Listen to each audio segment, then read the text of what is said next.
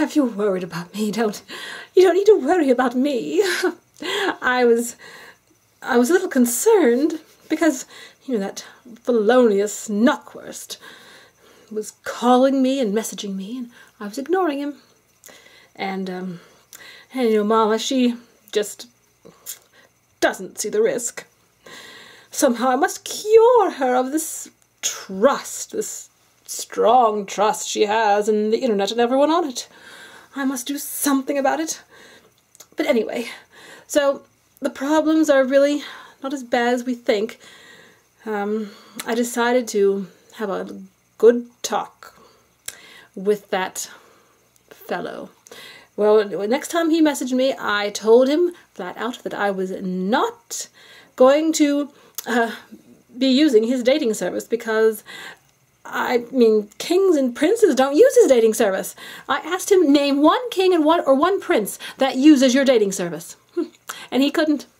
He couldn't think fast enough to come up with a name.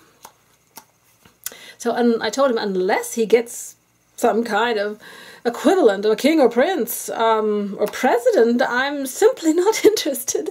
Simply not interested in his dating site at all. And um, I'm not going to. I mean, the, the Furs don't want a, a stepfather.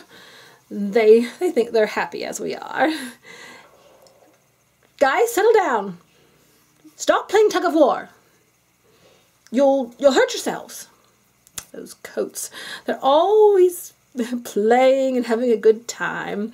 And it's good to see them have a good time. But, you know, if they get rough, you know, we don't want I don't want them to get a ruptured seam because those manufacturers, some of them aren't very careful when putting together the coats. And and I don't want high bills because plus all the publicity too. Don't want the fur coat ending up in the hospital.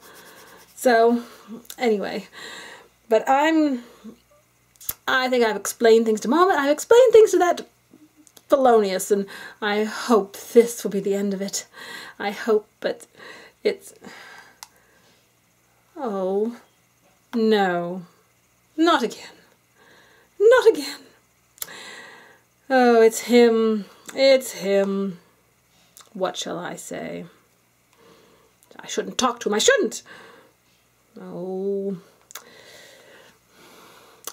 Hello? Mr. Knockwurst? Yes, it's Sophronia.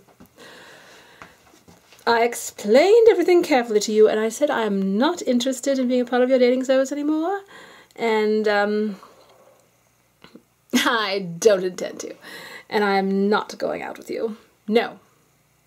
My furs are very happy as they are, and they're enjoying their life. So will you please bug off? Please? Just don't call me. Put me on the don't call list, and that will be enough.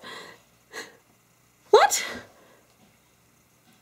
Goodbye. Uh, there's an emergency. Emergency. My, the coat. There's something wrong with the fur coat. Oh!